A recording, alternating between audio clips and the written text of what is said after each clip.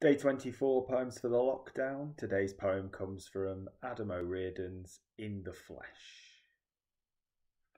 Google.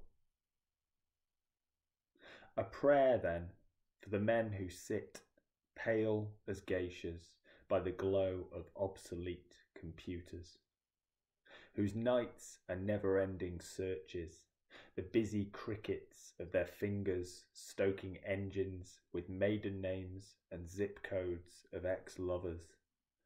God of false trails and disappearing acts, deliver us from the namesake, homecoming queen, Quaker settler, tenured academic, these indices of others. It's getting light. See how the dawn seems to bleed from Venus.